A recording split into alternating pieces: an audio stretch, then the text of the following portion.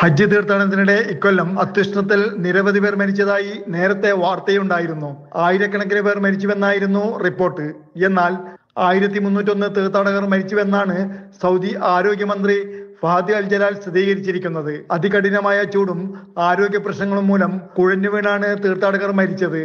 മരിച്ചവരിൽ എൺപത്തിമൂന്ന് ശതമാനവും അനുമതിയില്ലാതെ ഹജ്ജിനെത്തിയവരായിരുന്നു. ഇത്തരം ഹാജിമാർ മരുഭൂമിയും മലപാതകളും വഴിയാണ് പുണ്യഭൂമിയിലെത്തിയത്.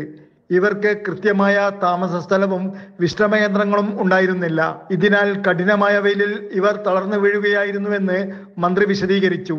എന്നാൽ മരിച്ചവരുടെ രാജ്യം തിരിച്ചുള്ള കണക്ക് പുറത്തുവിട്ടിട്ടില്ല. ഈ വർഷം ഹജ്ജ് സീസണിൽ നാൽപ്പത്തി ഒമ്പത് ഡിഗ്രി സെൽഷ്യസ് വരെയായിരുന്നു ചൂട്. മരിച്ചവരിൽ തിരിച്ചറിഞ്ഞവരുടെ ബന്ധുക്കളെ വിവരമറിയിക്കുകയും മരണ സർട്ടിഫിക്കറ്റുകൾ കൈമാറുകയും ചെയ്തു. മൃതദേഹങ്ങൾ മക്കയിൽ തന്നെ കവറടക്കിയതായും സൗദി ആരോഗ്യമന്ത്രി അറിയിച്ചു. Jafar Ali Palakkode Mathrubhumi news Jeddah.